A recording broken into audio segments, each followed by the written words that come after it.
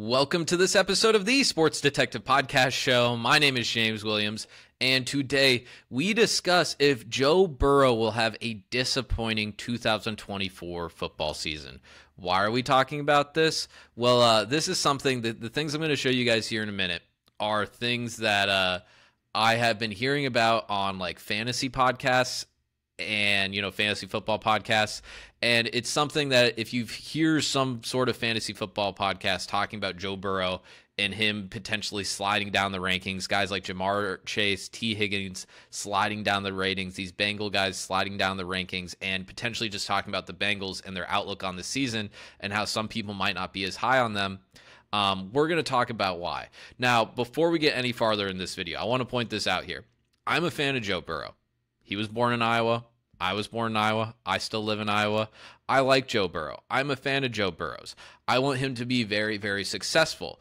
But how he has been recovering from this wrist injury, if you guys don't remember, last year, November, uh, is like 10, 11 games in the season. Joe Burrow uh, tears the ligament in his wrist, has to have season ending surgery, and he's out for the rest of the year. And I think a lot of us are like, oh, well, that injury happened like eight, nine months ago. It must be like everything must be fine. He must be all good. And Cincinnati's ready to go. Well, I'm going to show you guys a few quotes here that are uh, a little bit concerning. So this is the first one that I'll show you guys. So this is a uh, this is a, a, kind of a paraphrase thing. So Joe Burrow said this, and I think Zac Taylor said this too. That uh, right now, this is, came out like what last week, maybe a week and a half ago. That uh, Bengals QB Joe Burrow said he's happy with the wrist recovery after the summer. As of now, he will not practice more than two days in a row in training camp. Said he'll play it by ear. Uh, guys, him not practicing, he can't. Th- it, the the the more specific quote that came from that was that Joe Burrow said, "I'm not allowed to like throw three days in a row." He's not be allowed to throw a football three days in a row. That's something that's maybe a little bit important to match with timing with his receivers, timing with his offensive line, timing with uh, some of the other weapons on this offense. And if anything, too, maybe that's a sign that maybe because it is his throwing wrist too, by the way, that is hurt that maybe his wrist and his arm isn't exactly the same. It's like, oh, wait, James, maybe they're just being overly cautious. They want to make sure that he is okay for the regular season. Well, this is a uh, other quote that uh, that came out, and this was this is something from back in May.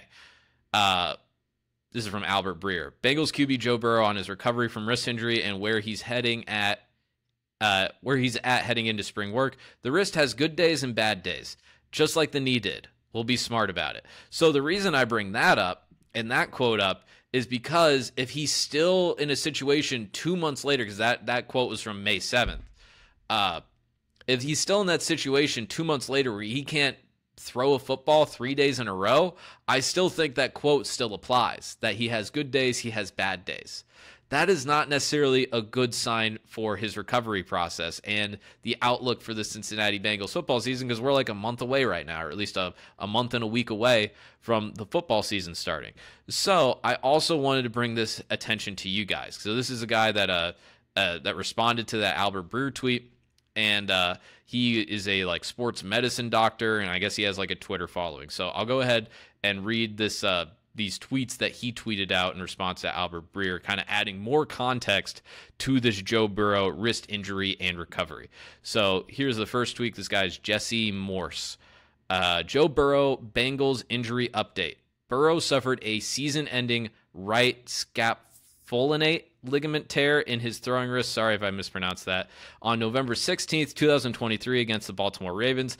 Initially, it was speculated that it was a TFCC complex tear, but unfortunately, it was worse. The dreaded scap scapholinate ligament tear, uh, complex tear. This ligament is very important for the stability of the wrist, and since this slash most ligaments have a poor blood supply, it needed to be repaired. I asked an orthopedic hand surgeon colleague his thoughts on this injury as it pertains to Burrow, and here was his response It's a bad injury to have. Invariably, always leads to some instability over time and arthritis at an earlier age. That is not uh, the best sign, but uh, Cincinnati Bengals fans, it, it does get worse. 80% of normal strength and range of motion is common hard to do dart thrower's motion. Dart thrower's motion, so throwing, the throwing motion. Harder to do that, which is important for snapping the wrist and the follow through when throwing. So that is not a good sign. But these guys are superhuman, so I'm sure he'll be fine. Did this injury change his career forever? Question mark. Yes, for sure. For context, he's the only pro QB I've heard with this, so it's hard to gauge. Use this information as you wish. He should be cleared to throw by mid May, on par with OTAs, which is on track, assuming no setback. Will he ever be the same QB he was before the injury? Question mark. Unfortunately, we don't know. Although I can say he is at an increased risk for new compensating injuries. Guys, that is not good. That is not good. So the part that was underlined there, uh, the fact that if you go through and pe- people went through this and they looked through all the injuries of this, there's never been a quarterback that has had that that type of ligament injury that Joe Burrow has. The only other people that get that injury are like linemen and linebackers. The only difference, and you can be like, oh well, those guys had that injury. They they went on to have successful careers. They were able to recover from that just fine. Well, they don't have to throw the football 30, 40 times a game. And this is very, very concerning if you're a Cincinnati Bengals fan because if you just look at Joe Burrow's career with the Cincinnati Bengals, let's go through it. This dude has never had a normal training camp. He has never had a normal offseason his entire career. So let's go through it. 2020, COVID. COVID, that kind of limits uh, the amount of work that you're going to do, you know, in person contact. That was kind of a whole weird offseason. 2021, he's recovering from an ACL that he tore in his rookie year. So that wasn't a normal offseason.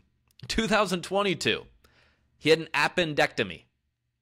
That's something that you can't control. I had one at one point in my life. They aren't fun. They they you know you're kind of out for a while with that. So he didn't have a normal offseason that year.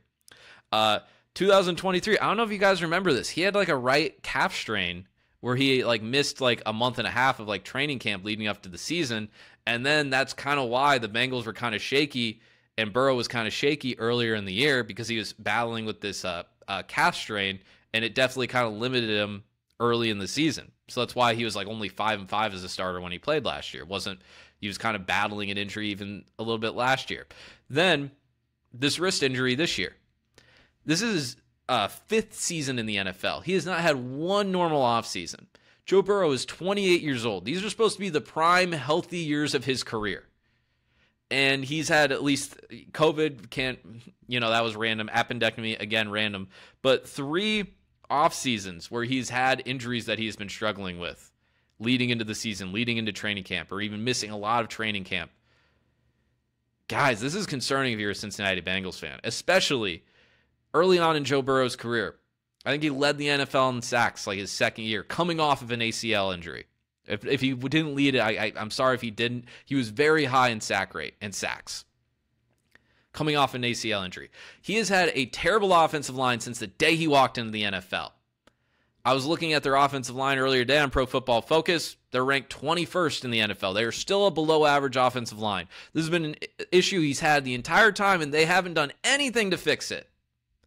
Now, I understand, you know, they, they did the thing where they picked Ja'Marr Chase over Penei Sewell. It looks like that was the right decision, even though Penei Sewell is an absolute beast for the Detroit Lions, but Ja'Marr Chase is also a beast for the Cincinnati Bengals. But Joe Burrow is a guy that's been dealing with a lot of injuries, and you guys aren't doing anything to protect him. You aren't getting better on the offensive line. And here's another thing too. Uh, and this is for if you're a Bengals fan, you know this, but if you're not a Bengals fan, you might you know be out of the loop on this. They lost Joe Mixon this offseason. Mixon went to Houston. Well, you understand that he's 28 year old running back. You don't want to pay those guys, especially when you're going to be giving Ja'Marr Chase a bunch of money. You still have this Tee Higgins decision you have to make. Gave him the franchise tag, and then Joe Burrow's making a whole bunch of money now. So you don't want to pay Joe Mixon a bunch of money. That's just kind of financial sense uh, when it comes to the NFL. But they got Zach Moss to replace him. I think Joe Milton was able to be productive behind a like subpar or average offensive line. I don't know if Zach Moss can do that. So you're telling me Joe Burrow has a, uh, uh, uh, still kind of a sore wrist, let's say. He has a poor offensive line, and he's not going to have much of a running game heading into this season. Guys, it's it kind of spells trouble for the Cincinnati Bengals. it kind of spells trouble for them. I know people are high on their defense. Their defense could be pretty good, but like we read in that previous tweet, he'd be Joe Burrow could be compensating for injuries. So even if he doesn't tweak that wrist again, maybe there's something where he compensates, tweaks something else in his arm, something in his back, something in his leg. I don't know, guys. I love Joe Burrow, like I said at the beginning, but uh, th- this is something here where I, I kind of wanted to point this out that his he's still not 100% healed from this wrist injury.